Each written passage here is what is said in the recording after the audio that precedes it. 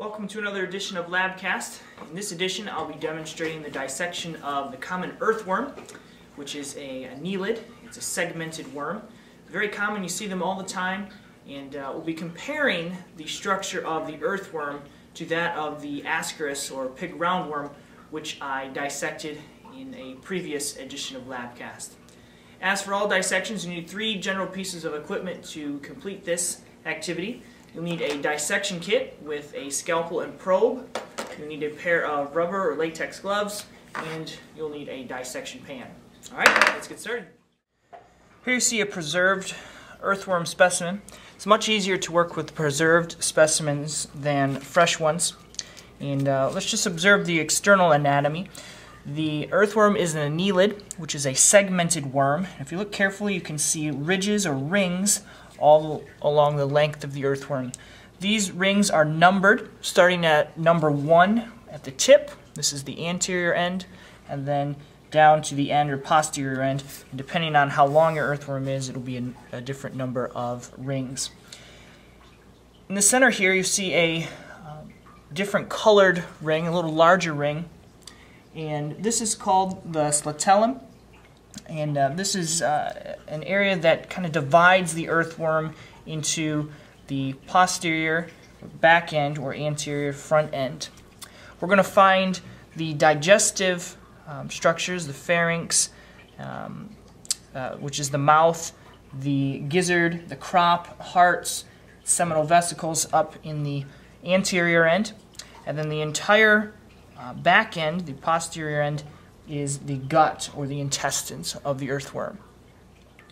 I'm going to use a couple of pins to secure my earthworm to the dissection pan. This makes cutting quite a bit easier. I'll put one in the front end and one in the back end and stretch the earthworm out makes it a lot easier to cut through. Next I'll take my scalpel and my probe and I'm going to begin by making an incision from the clitellum down towards the posterior end. The earthworm is uh, very soft and it's important that you don't cut too deep otherwise you'll damage the organs underneath the skin. So I'm going to make a shallow incision and then I will use my probe to open that incision further.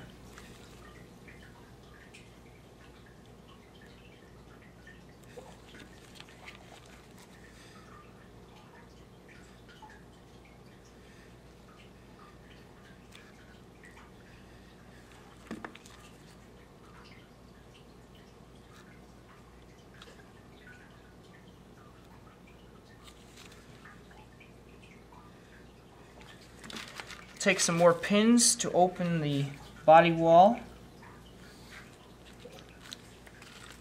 And like I did with the ascaris, I'm going to angle these pins outward so that I still have access to the center of the earthworm.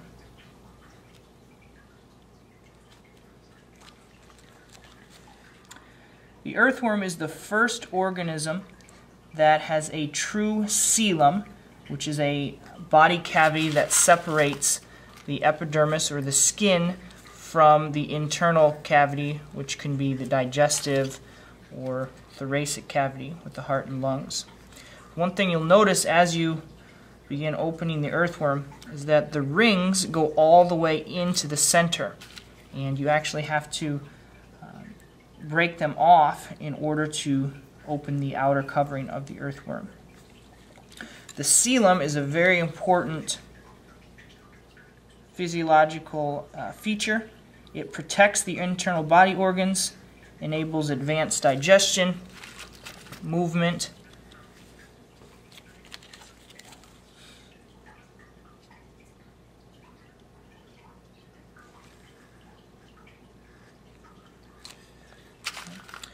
So as I open this, you can begin to see the long intestines of the earthworm. Earthworms feed on decaying matter, uh, leaves, dead animal material, and are responsible for enriching the topsoil uh, by fertilizing the soil through their waste. They're very, very important organisms. It's estimated that there are about 50,000 earthworms in one acre of good farm quality soil. So I've opened a good portion of the posterior end of the earthworm and in zooming in you can see it's very simple. There's not much to see really. Here I have a digestive tube. This would be the intestine. And if I am to open that up you will find dirt inside to the left and to the right of the digestive tract I have two lines which could be either the um, veins and arteries which are responsible for circulation or they might be part of the nervous system which controls and how the earthworm moves and what it can feel. The posterior end of the earthworm is fairly simple, and if we were to continue opening the earthworm all the way to the very end, we would see more of the same. A little bit more interesting is the anterior end of the earthworm, um, from segments number 1 down to about segment number 33 right here. And that's what we'll open next, and we'll see something quite a bit different. At this point, it's very important that you make a, a shallow incision. If you cut too deep, you will damage the delicate internal organs underneath.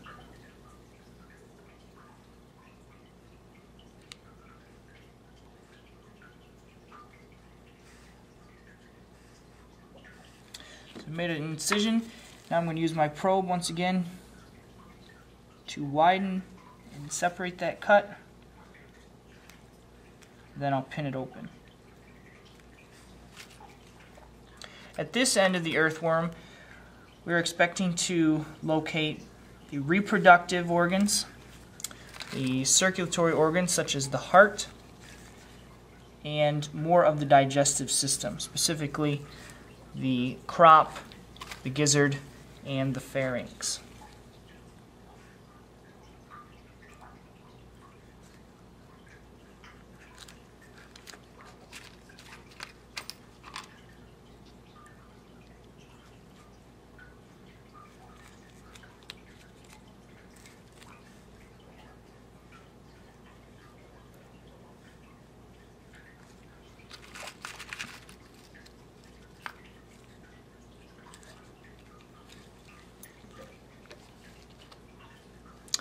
Zoom in on this a little bit.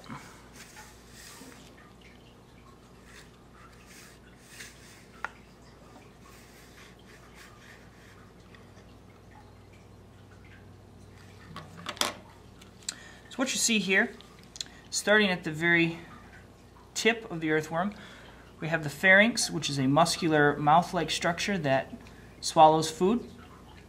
Below that you will see a series of um, tiny black threads. And while they don't look like much, these are the hearts of the earthworm. They're not hearts as you would picture in human hearts. They don't have chambers, valves like we do. They're simply um, hollow tubes that are muscular and squeeze, which provides the pressure the earthworm needs to circulate blood all the way to its tail and back again. The earthworm has a closed circulatory system. Below that, these white structures are part of the reproductive system.